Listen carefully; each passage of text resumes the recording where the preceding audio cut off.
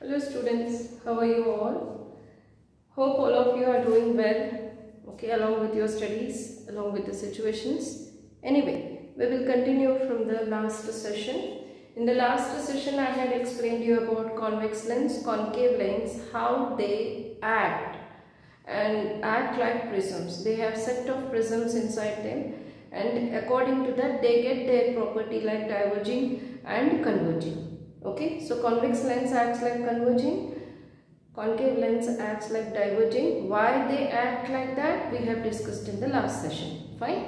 Now today we will understand about technical terms related to a lens. Okay but before knowing what are the technical terms related to lens first we will understand how the lens are made. It's important because lens is of not one piece but it is of two surfaces. It is a uh, combination of two surfaces. That is what we have to understand.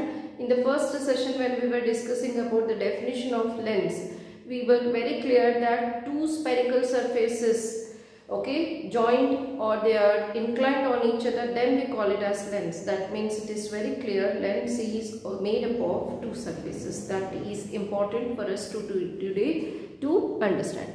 First you listen carefully to make lens always two spherical glasses were taken.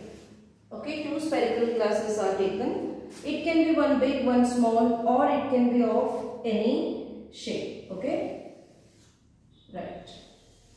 Now, they may not be exactly spherical here but you have to consider to be as spherical. Now here you can see that two spherical glass is taken. Okay, spherical glasses 1 and 2 okay and they are placed on each other. So the half curvature of this one, the curvature of this surface and the curvature of this surface. I'll just show you with a color chalk. You can notice it. Okay. This color of curvature, this side. This curvature is of this spherical surface and this curvature is of this spherical surface. Okay, when they are placed on each other, they are combined on each other. When two surface, uh, two glass sphericals, when they are placed on each other, the edge, the combination of these two edges picked up as lens.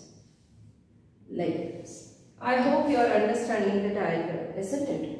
So now, this particular curvature and this particular curvature are of not same spherical glass this is of 1 okay and this is of 2 spherical glass. This curvature is of second spherical glass and this curvature is of first spherical glass. Isn't it? Are you understanding this clearly? So when these two spherical glasses are placed on each other, then a thickness is formed due to placing on each other and that edge is cut and made as lens. Right? So definitely lens is having two curvatures, two different curvatures. They are inclined on each other. Right. So if this is the curvature, this is the curvature of first spherical glass and this is the curvature of second spherical glass. So definitely these two uh, curvatures are different.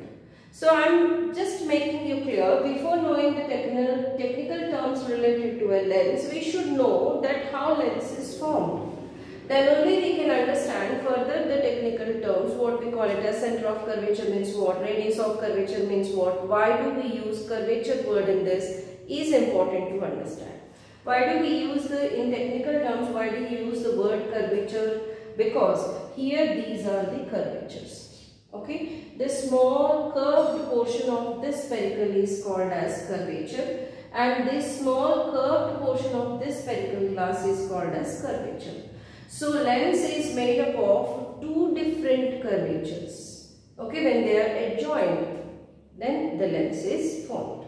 Okay, am I clear with this? So now once we understood that lens is made up of two curvatures, okay, then we will try to know the try to know and understand the technical terms related to lens. Okay.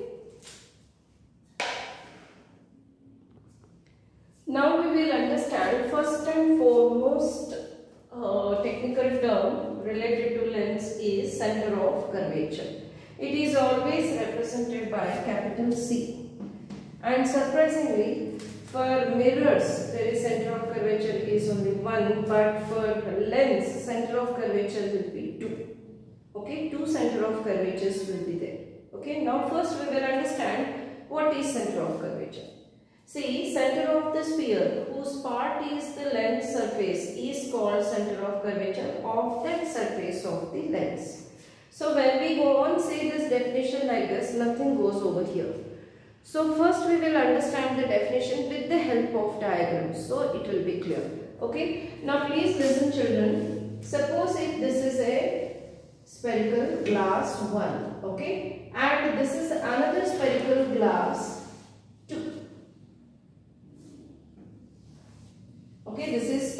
glass 1 and this is spherical glass 2. Right. So, if this is a spherical object, then definitely it is having its center. Okay, let us say here. And if it is another spherical glass, then it will have another center over here. Okay, from this center till this curvature is called as center of curvature. Okay, this curvature is belongs to this particular center of the spherical, isn't it? So, this curvature from here to here, this is nothing but center of curvature and it acts like radius also. That means for this curvature, this is the center and for this curvature, this is the center. So this is C1 and this is C2. I hope you are understanding very clearly. And see always it will be opposite. Okay. C1 that is from here, this is the spherical curvature. For this curvature, this is the center. And for this curvature, this is center. We are forgetting to make this lens with these spherical uh, glasses are used. From these two spherical glasses, when they are placed on each other, the edge part of these overlapped, uh, what you call it as glass surfaces itself is acting like lens. Of course, if these are not seen also, here actually these spherical glasses are not seen. No issue.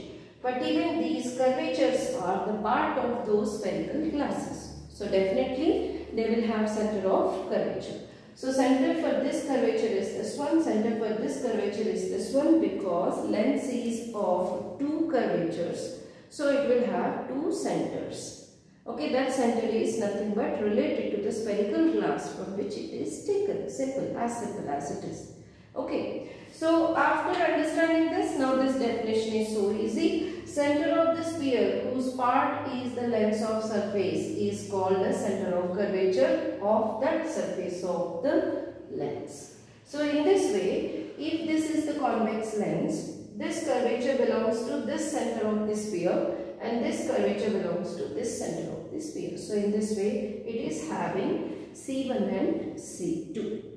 I hope you have understood what is center of curvature.